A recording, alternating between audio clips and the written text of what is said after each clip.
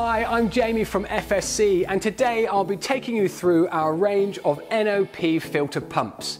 The NOP filter pumps are a range of high, medium and low pressure coolant pumps that deliver clean, consumable free coolant to your machine tool, offering a range of pressure from 5 to 70 bar, delivering from 25 to 250 litres per minute.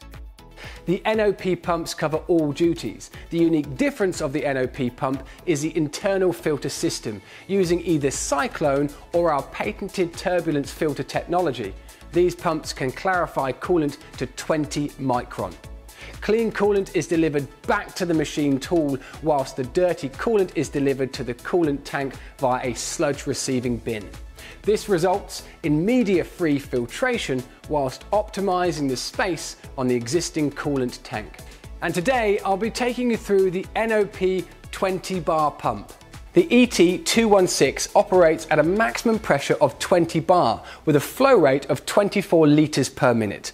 The ET216 consolidates all components of a conventional coolant system. As a result, there is no need for a separate suction pump, inline filter or transfer pump as the NOP20 pump system has all these requirements built in, resulting in a fraction of the volume occupied by a conventional coolant system. Not only that, the NOP20 only requires a 1.5 kilowatt motor to run. That's a reduction in energy expenditure and less heat input into the coolant tank.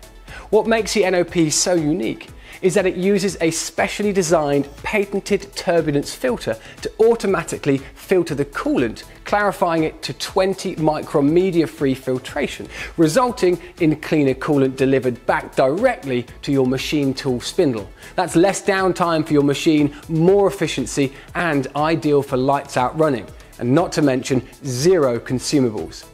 In our next video, I'll be taking you through our GCI 250.